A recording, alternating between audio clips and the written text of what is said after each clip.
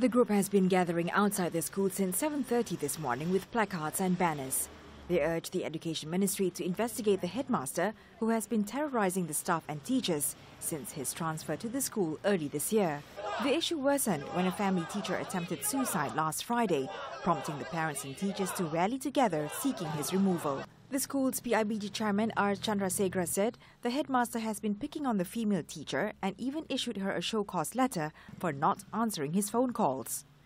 Lepas kejadian itu, selepas 11 hari, guru besar itu mengeluarkan satu surat amaran uh, untuk tunjuk sebab kenapa tak jawab panggilan saya. Saya rasa ini bukanlah satu um, satu uh, masalah yang berasas.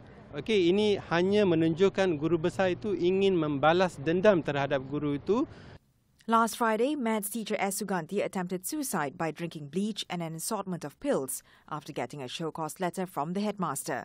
Fortunately, her husband managed to save her, and the woman is currently being treated at the Klang Hospital.